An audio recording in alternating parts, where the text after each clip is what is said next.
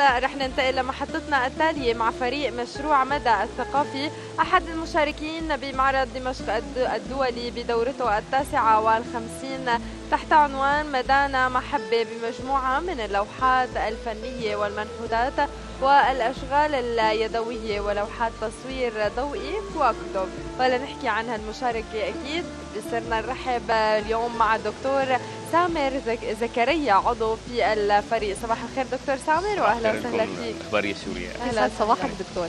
دكتور سامر خلينا نحكي عن مشروع مدى الثقافي. شو هو؟ نعرف الناس عنه أكثر. وايمت أبصر النور؟ آه، مشروع مدى الثقافي هو مشروع شبابي تطوعي آه، ثقافي فني. بيرعى جميع أنواع الإبداعات والمبادرات الفنية والثقافية مثل القصة القصيره الشعر النسر اللوحات الرسم التصوير الضوئي الجولات السياحية على مناطق آه، سورية معينة الحفلات الموسيقية. يعني أي موهبة شبابية تطوعية بيرعاها فريق مدى آه، ثقافيا وبيهتم فيها اعلاميا نعم. هي وظيفته ونشأ آه، السنة الماضية بلشنا اسسناه كنا حوالي 100 عضو تقريبا مؤسس. هلأ صار في مئات الأعضاء فريق مدى بكل المحافظات السورية يعني. في له إدارة بحمص إدارة رئيسية وفي له بدمشق وباللاذقيه وفي له أعضاء بكل أنحاء سوريا وفي له أعضاء من خارج قطر كمان بيدعمونا يعني بكل الأشكال يعني. نعم. خلينا دكتور نتعرف مع حضرتك عن مشاركتكم بمعرض دمشق الدولي بدورته 59 وخلينا نحكي يمكن بقسم الأشغال اليدوية ما كنتم مشاركين. نعم. آه، أول شيء معرض دمشق الدولي بالدورة 59 كان معرض يعني استثنائي بكل المقاييس. الضخامه يعني اللي بيعرفها بس اللي شافها اللي اجى على المعرض وشاف قديش الإقبال ما شاء الله.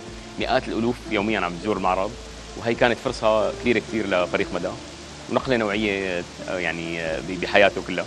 إنه نقدر نشارك بمعرض دمشق الدولي بجناح آه، يعني عرضنا فيه كل عم مبدع من فريق مدى. بعض المقتطفات من الجناح على الشاشة. إيه تماما. كل كل مبدع من فريق مدى شارك باللي بيقدر عليه. مثلا اللي بيرسم شارك بلوحته اللي بيعمل منحوت يدوي شارك بالمنحوت تبعه.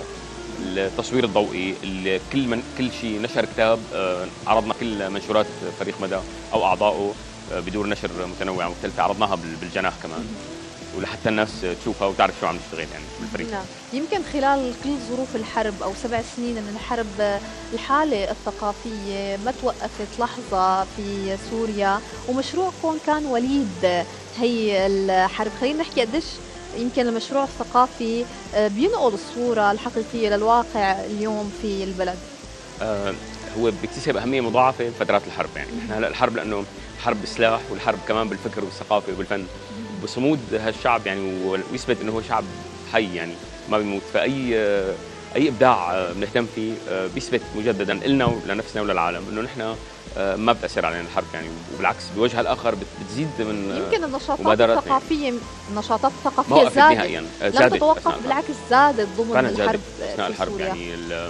فعلا اللي بيعمل مثلا احصائيه يشوف إنه آه، مو بس يعني ظلت مستمره وانما فعلا ضعفت نحن لأنه عم نسلط الضوء عليها وعم نواكبها بشكل مستمر عم نلاقي في زيادة بشكل تمام. كبير. تماما فعلا يعني المعارض اللوحات الأمسيات كل الفعاليات زادت فعلا فترة الحرب. يعني مثل كأنه نفسيا الواحد بده يثبت لنفسه إنه لا أنا ما ما أنا مأثر علي الحرب أنا بالعكس يعني أنا نعم. ما زلت حي يعني. طيب. وهالمعرض أكبر إثبات يعني. صحيح. طيب كل حدا عنده شيء أو عنده موهبة أو عنده يمكن حب ل يمكن الرسم أو أي نوع من الفن لكم كيف فيه بيقدر ينضم بكل البساطه كيف فيه ينضم؟ شو هي الشروط؟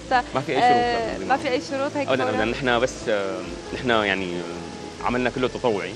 وما في أي فائدة آه، يعني لا مادية ولا ولا مدانا محبة يعني شعارنا معناته إنه بيجمعنا بس المحبه فقط وبحب الشيء اللي عم نعمله. بس جو التشاركي الموجود بالفريق هو اللي يعني بخلي الواحد يحب إنه يكون موجود. آه، فأي حدا بيحب يفوت على الفريق في لنا صفحة مدى على فيسبوك موجودة مثلا بيقدر ينضم لنا أو بالإتصال معنا على يعني على مباشر أو على صفحاتنا. وبيدفع اشتراك بسيط جدا. هو بمول يعني هيك تمويل بسيط للفعاليات اللي عم نعملها يعني. وعباره عن 2000 ليرة سوري كل ثلاث شهور. يعني آه، شيء رمزي. فقط لا غير يعني. ونحن بنآمن إنه كل إنسان في عنده موهبة آه، بيقدر يعطيها. مهما مين ما كان هالإنسان. يا بيقدر يكتب يا بيرسم يا بينظم يا بيعزف يا بيعمل شيء. يعني أي إنسان نقدر نرعى نحن موهبته. وبيعملوا مع المجموعة بتنمو هالموهبة وبتزيد. ف بيقدر يلاقي أفق يعني لهالموهبة معنا يعني. يمكن ما في أفق لطموحكم لما نقول مدى ثقافي يمكن ما في آه، أفق محددة. هذا الحلو بالمشروع. خلينا نحكي إقبال الناس على الجناح كيف كان تفاعل الناس مع هيدا الجناح كيف يمكن شافوا المشروع. يمكن لما أنت تقوم على مشروع نظرة الناس بتكون مختلفة قديش كان في تفاعلية؟ تمام نحن أول شيء المعرض يعني كان مثل ما قلنا قبل شوي يعني نادر يعني بعدد الناس اللي أقبلت عليه. وناس متعطشة من سبع سنين ل ل للمعرض يعني. فهذا أدى إلى أنه الاهتمام بالمعروضات تبعتنا كان مختلف. فوق المتوقع يعني. كل الناس تجي وتشوف شو عم ينشغل وكان نحن جناحنا ضمن جناح المهن اليدوية. فكل الناس تجي تتفرج على الكتب وتشوف اللوحات وتشارك وتسأل عن إمكانية الانضمام يعني للفريق وتهتم باللوحات الموجودة والمعروضة.